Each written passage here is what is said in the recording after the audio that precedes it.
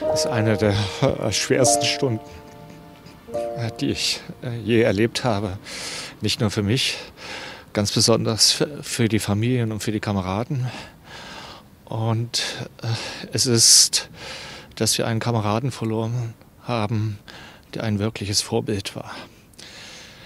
Er war sein achten Lebensjahr mit Herz und Seele Feuerwehrmann. Er war immer einer der ersten mit am Einsatzort. Und er hat, er hat Feuerwehr gelebt. Und es trifft uns so tief, dass äh, uns die Worte fehlen.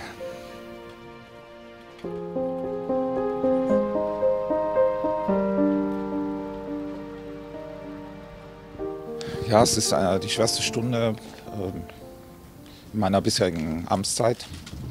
Bin tief betroffen. Ich habe den Angehörigen kondoliert. Ich habe mit den Kameradinnen und Kameraden der Feuerwehr Bad Salzungen gesprochen. Ich habe mir nochmal den Hergang schildern lassen.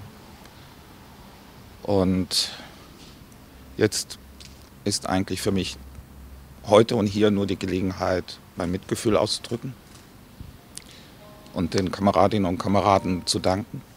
Nicht nur hier in Bad Salzung, wo dieses dramatische Ereignis passiert ist, dieser schreckliche Unfall, sondern im ganzen Land.